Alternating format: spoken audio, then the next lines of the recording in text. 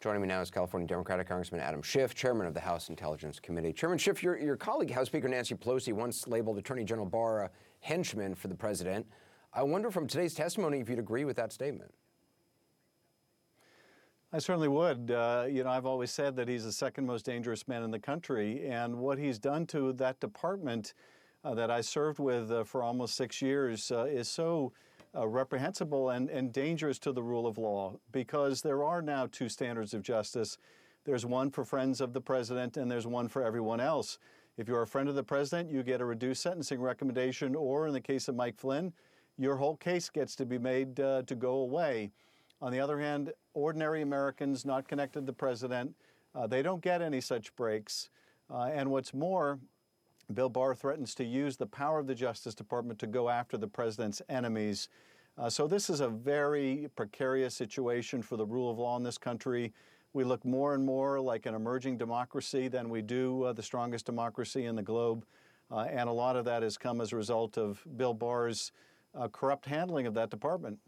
Yeah, an emerging democracy or a fading democracy, I guess. I mean, if you look at Bill Barr's actions going all the way back he refused to release the Mueller report just a month into his tenure and instead issued his own four page summary of it, which was misleading, uh, to the firing of Geoffrey Berman, the U.S. Attorney General in New York. Uh, today's testimony that the DOJ allegedly exerted pressure to go easy on Roger Stone, I mean, it, it is part of a pattern, though, of just protecting the president. And there were reforms put in place after Watergate to stop just this kind of thing. That's exactly right. Uh, you know, from the earliest days of this presidency, uh, Donald Trump has stepped on all these norms of office uh, post Watergate, where the White House wasn't going to interfere uh, in particular cases, especially those that might implicate the interests of the president.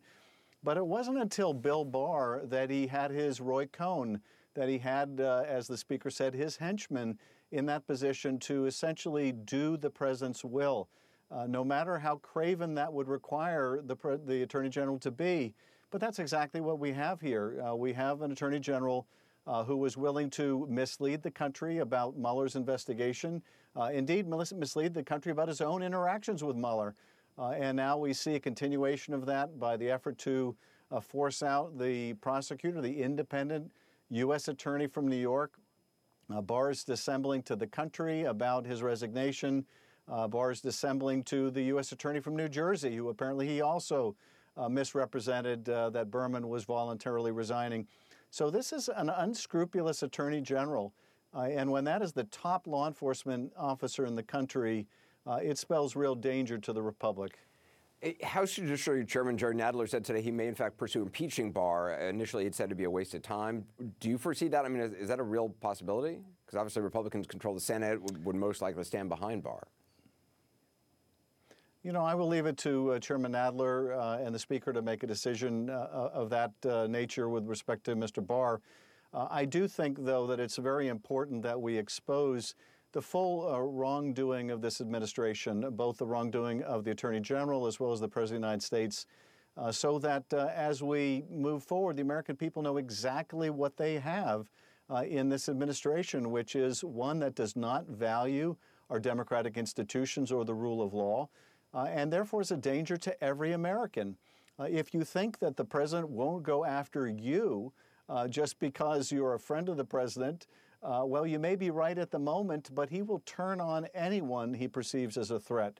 Uh, so there is no safety or security even for the allies of the president. I wish uh, the members of the House and Senate, my colleagues in the GOP, would realize that. They are vulnerable too. No American is safe when the Attorney General is not looking out for the interests of justice, but only looking out for the interests of a president who uh, makes common cause with autocrats and disdains democracy. Barr's now set to testify before the House Judiciary Committee in late July. I mean, during his Senate testimony, he wasn't the most forthcoming uh, with answers. I mean, do you think you can actually learn something this time? I think it's important to, to put the questions to the Attorney General, uh, whether he answers them or answers them truthfully, to expose his lack of character to the American people. But Anderson, I think you're right. Probably the more important testimony is the testimony that we heard today and that we will, we will hear from other whistleblowers. Uh, and that is people who can expose Bill Barr's wrongdoing rather than just hear Bill Barr deny his own wrongdoing. Uh, so I think some of these other witnesses, they may not be as high profile, but in fact, they may have even more important things to say. I thought Don Ayer's testimony today, the former Deputy Attorney General under George Bush, who talked about the systemic threat to the rule of law, was among the most important testimony uh, that we've heard. So these, these, all of these witnesses, I think, are going to be crucial. Chairman Schiff, I appreciate your time.